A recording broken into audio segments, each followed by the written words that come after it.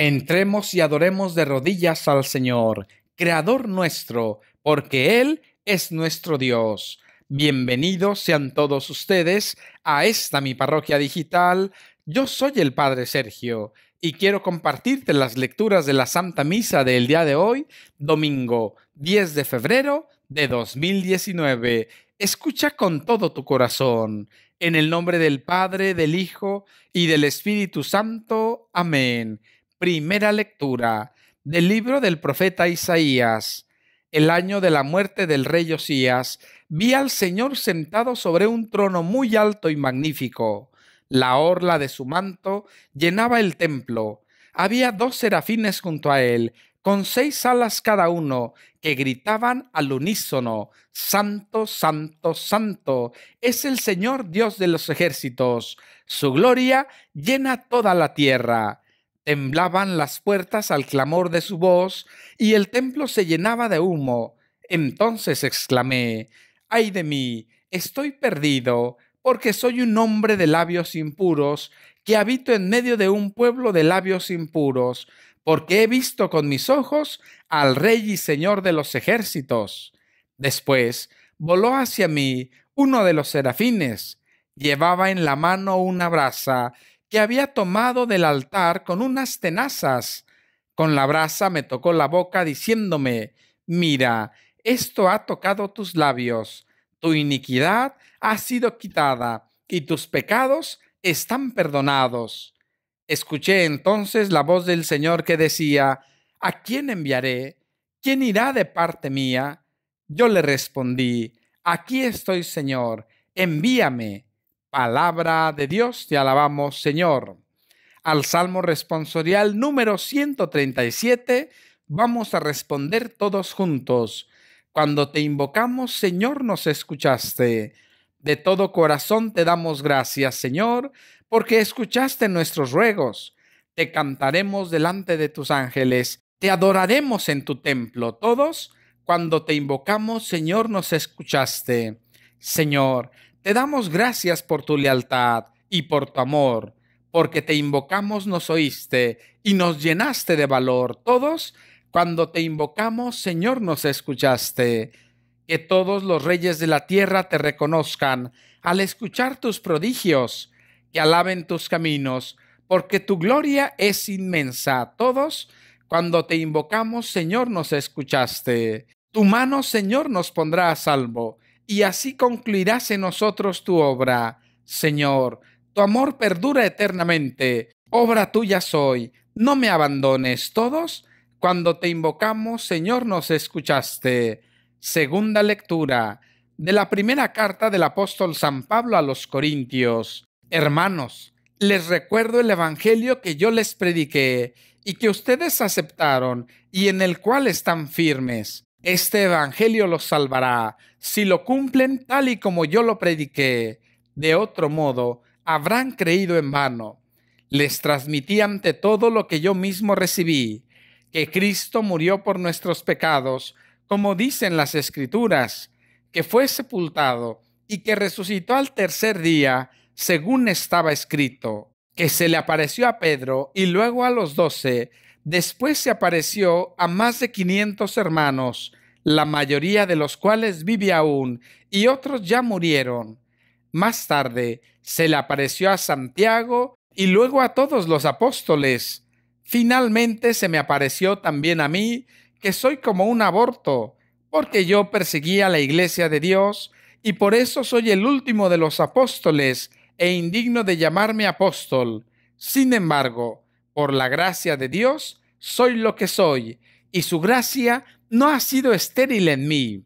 Al contrario, he trabajado más que todos ellos, aunque no he sido yo, sino la gracia de Dios que está conmigo.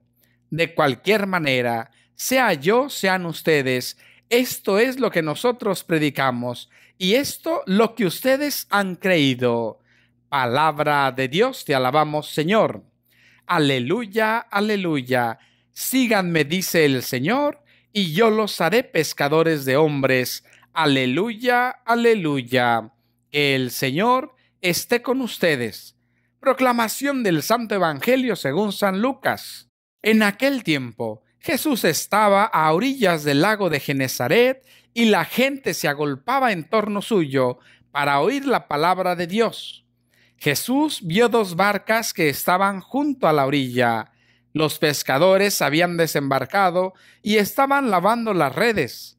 Subió Jesús a una de las barcas, la de Simón. Le pidió que la alejara un poco de tierra y sentado en la barca enseñaba a la multitud. Cuando acabó de hablar, dijo a Simeón, lleva la barca mar adentro y echen sus redes para pescar. Simón replicó, Maestro, hemos trabajado toda la noche y no hemos pescado nada, pero confiado en tu palabra echaré las redes. Así lo hizo, y cogieron tal cantidad de pescados que las redes se rompían.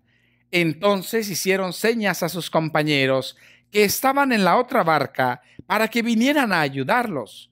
Vinieron ellos y llenaron tanto las dos barcas que casi se hundían.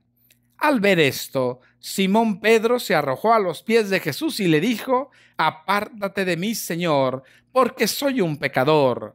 Porque tanto él como sus compañeros estaban llenos de asombro al ver la pesca que habían conseguido. Lo mismo les pasaba a Santiago y a Juan, hijos de Zebedeo, que eran compañeros de Simón. Entonces Jesús le dijo a Simón, No temas, desde ahora serás pescador de hombres. Luego llevaron las barcas a tierra y dejándolo todo, los siguieron. Palabra del Señor. Gloria a ti, Señor Jesús. Hermano y hermana, hoy es día domingo. Recuerda ir a la Santa Misa. El sacerdote y sobre todo nuestro Señor Jesucristo te están esperando.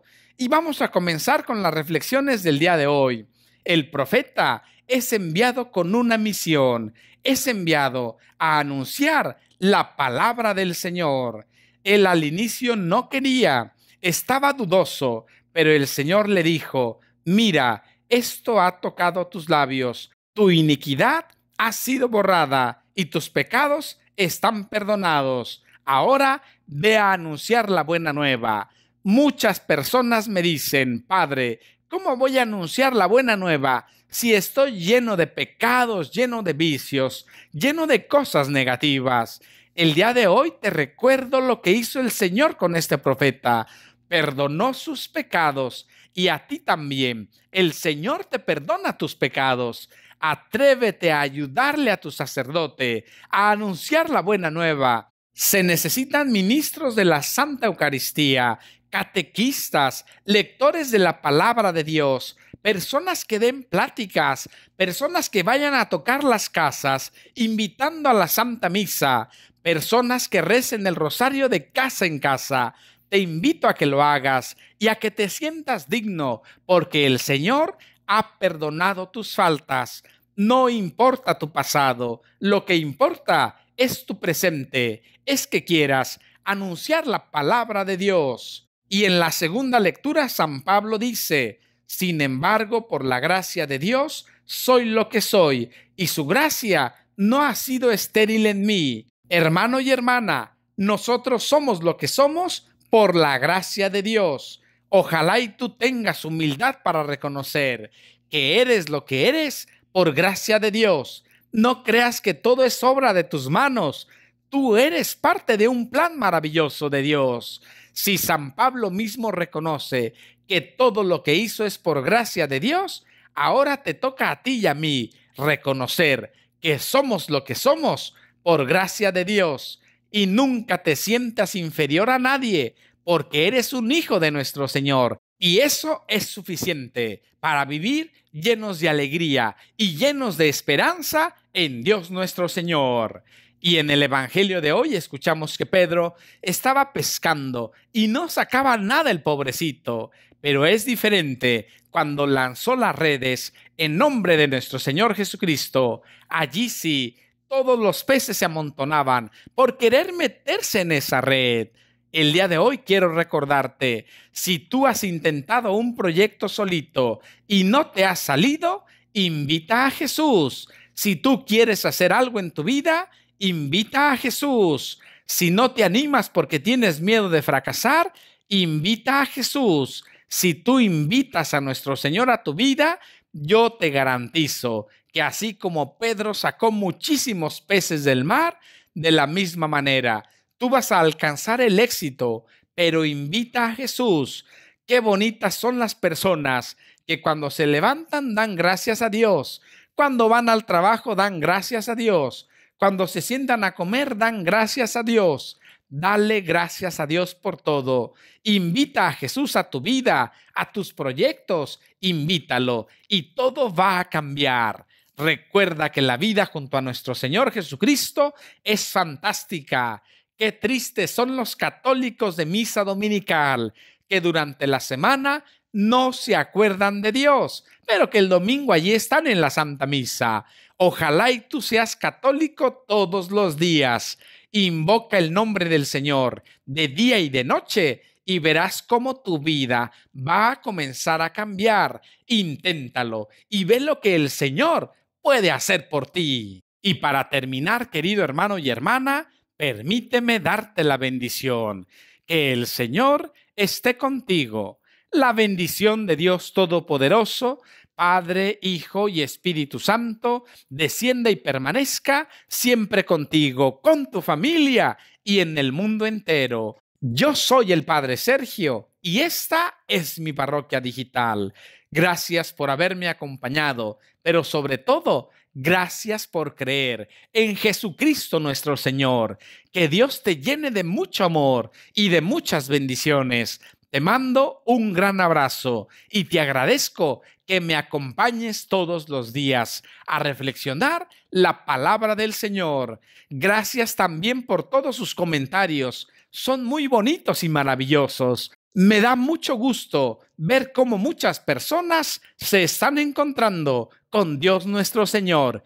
Ánimo y bendiciones. Que el Señor te cuide, te proteja, te bendiga y te acompañe. Y recuerda, invita a tu vida a Jesús y comenzarás a tener grandes frutos. Nos vemos el día de mañana. No se te olvide suscribirte a esta tu parroquia digital. Dale me gusta a este video y compártelo con alguien que sabes que necesita escuchar la palabra de Dios.